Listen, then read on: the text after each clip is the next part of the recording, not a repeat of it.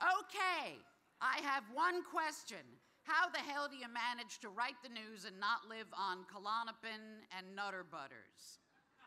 Now I'm supposed to do a bit where I drink and say that drinking goes well with the news, but I don't like the writing. Okay. But it's a perfect time, because it's the end of the world, to segue into plugging my latest show at Joe's Pub called It's Over, Who Has Weed?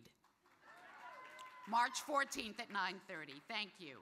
And the nominees for Radio Audio News Script, Reg- fuck me, this is a long category title. Radio Audio News Script, Regularly Scheduled Bulletin, or Breaking Report. That's the category.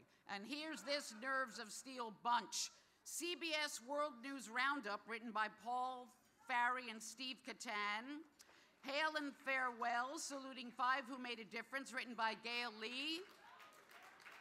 Newsline, 11 a.m., 9922, written by Philip Pilato. Remembering the Transistor Kid, written by Thomas Sabella.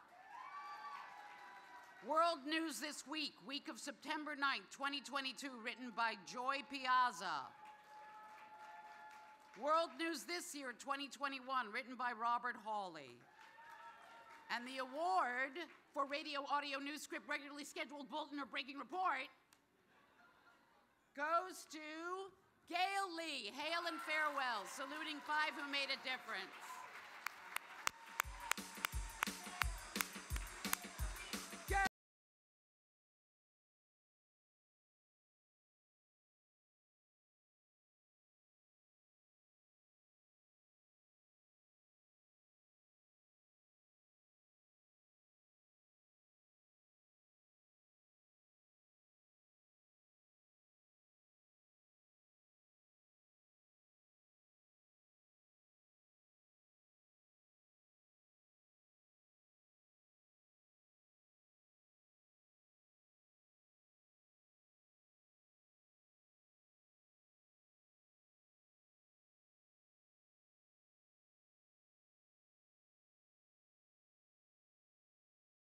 First time.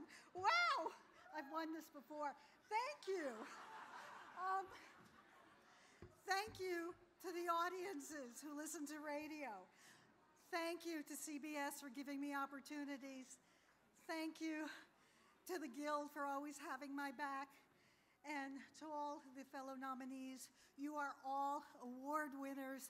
I just got lucky this time. Thank you, thank you, thank you.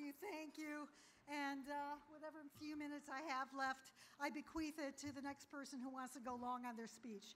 Thank you.